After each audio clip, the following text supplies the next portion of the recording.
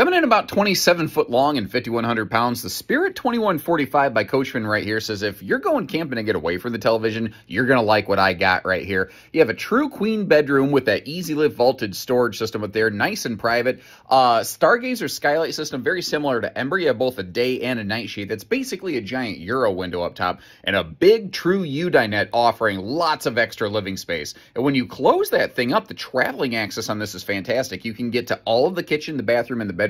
I call that nap, crap, and snacktastic access. And frankly, the total kitchen storage in this doesn't suck at all.